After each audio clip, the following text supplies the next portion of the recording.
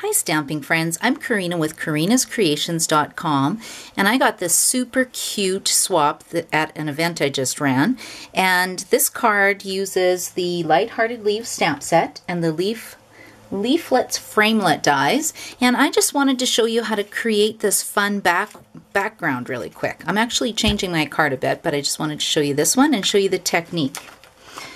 Now I like to use the thick white cardstock. It's a little bit heavier than our Whisper White cardstock.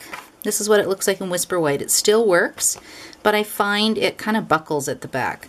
So by using the thick white cardstock, that won't happen. So you need to grab an aqua painter, and with the aqua painter, when you unscrew it, you put the water in this end, and tighten it back up. And then I like to just put a little bit of water in my hand, make sure it's working.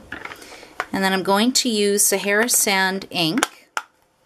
And when you squeeze the top of the ink pad, it creates a pool of ink, like that.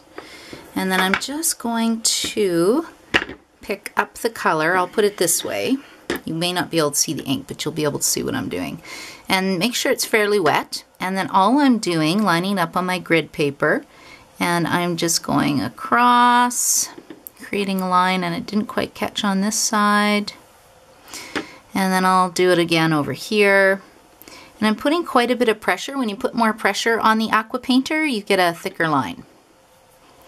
But this is so fun. I can see using this technique for lots of different things. And if you don't like the look of the line you just go back and do it again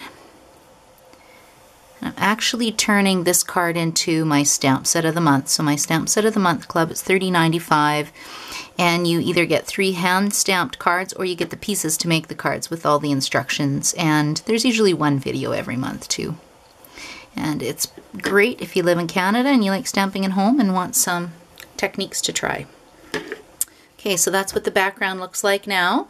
And like I said, this is what the card that I got in the swap. So I think it's super cute and I hope you'll try this technique. Happy stamping!